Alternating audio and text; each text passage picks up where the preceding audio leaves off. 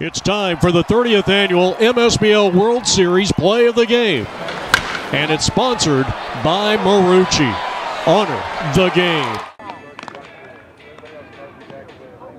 It's a real good start. But last year we had a good start too, so we don't take anything for granted.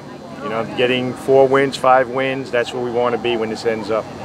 Graves pitched uh, an outstanding game. He goes the distance. Absolutely. It's exactly what we wanted him to do tonight. We've got a doubleheader coming up tomorrow. We needed at least seven out of him. We got a complete game out of him. It was perfect. Absolutely perfect. And I think what makes it so perfect is, is the fact that uh, you had a doubleheader yesterday, but then you rested all day today and you, you used one pitcher.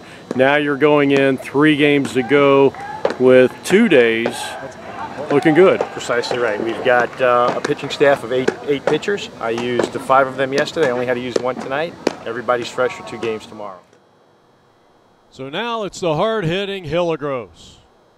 And he drills one down the left field line. That's a base hit.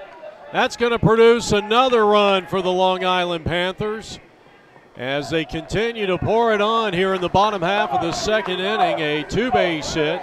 And the Panthers here in the second lead it 4 to 1. Don't miss out on a chance to own your MSBL World Series game on our play by play videos. They're a great keepsake. Go to our website, apnvideo.com, for more. This is apnvideo.com.